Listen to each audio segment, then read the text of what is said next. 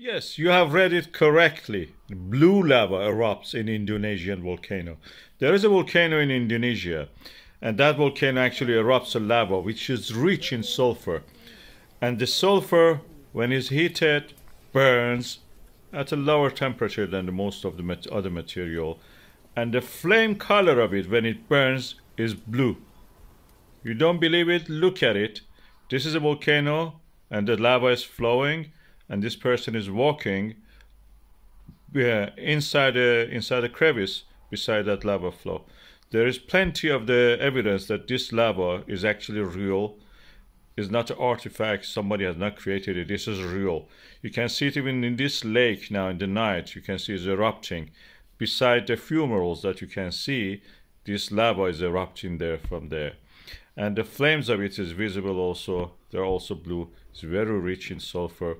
Sulfur is uh, something that erupts in the Jupiter satellite called Io. And we expect to see such a thing there. If, if we ever visit there, we may see that. It's in the Indonesian island of Java, near the Bali actually. It's called Ijen uh, volcano.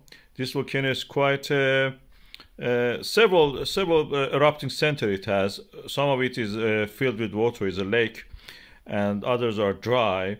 And uh, this uh, deep color of it shows this is full of minerals. It can be really sulfuric, you know, can be even sulfuric acid. The flame test shows that this sulfur actually burns with a blue color. We burn it, we know that it, it burns blue. All the sulfur itself is actually yellow. Surprise, surprise, yeah. But it erupts in the volcanic areas. We have seen it in the Fagradessu volcano of Iceland. We have seen it in the Mount Damavand and uh, in Iran and many other places they extracted there. Ancient times they extracted this. The red one was the most valuable, the yellow one also valuable. This is real.